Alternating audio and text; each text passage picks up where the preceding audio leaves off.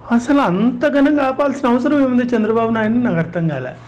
నిజంగా సీఎంకు తెలియకుండా ఇలా ఇంత చంద్రబాబు నాయుడు విషయం తెలుస్తుంటుంది. అంత దుర్మార్గంగా బస్సు ముందు పోలీసులు కూర్చొని లారీలు అడ్డం పెట్టి బస్సులో అడ్డం పెట్టి అందరూ అతను చీకట్లో నడిపించి నాలుగు కిలోమీటర్లో ఐదు కిలోమీటర్లో నడిచినట్టున్నాడు. అక్కడే జనరేటర్లన్న కరెంట్ ఆపేసి జనరేటర్ తీసుకెళ్ళిపోయి ఎందుకు ఇంత పబ్లిసిటీ ఇస్తున్నారు అతనికి? నాకు అర్థం కాని విషయం ఏంటంటే ఎందుకు? దీనివల్ల అతనికి పబ్లిసిటీ పెరుగుతుంది కదా.